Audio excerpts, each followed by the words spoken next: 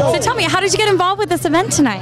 Well, I'm the president and the CEO of the Black AIDS Institute, so we're one of the co-organizers of the event with the Magic Johnson Foundation. This is the 10th annual Heroes in the Struggle Gala uh, reception uh, and awards presentation, and we're honoring black people who have been heroes in the fight against HIV.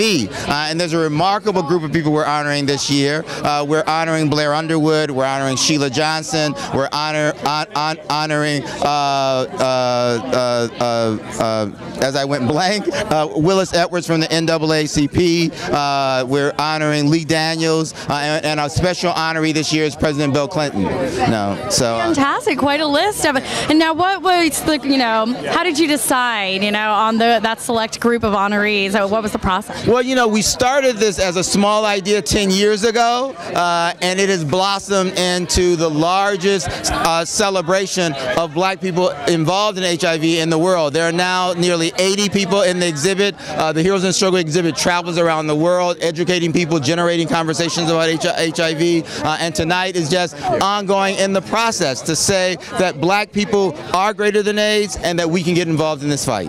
Do you think there's enough being done right now in this fight to eradicate this disease? I certainly don't think there's enough being done. There is more being done. Uh, people are starting to respond to the epidemic, and that's important. But we need to continue to, to deliver the message. People think that the AIDS epidemic is over, and nothing could be further from the truth, particularly in black communities. You know, we are being decimated. You know, no matter how you look at it, through the lens of gender or sexual orientation or age or socioeconomic class or level of education or region of the country where you live, black people are disproportionately impacted by HIV. 70% of the new HIV cases among young people are black.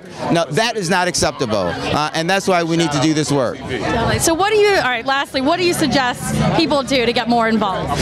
Number one is to get informed. Knowledge is a powerful tool in the fight against HIV. To get tested, knowing your HIV status is a responsibility. Knowing your partner status can save your life. Get treated. AIDS is no longer the automatic death sentence that it once was. And get involved. The life you save may be your own.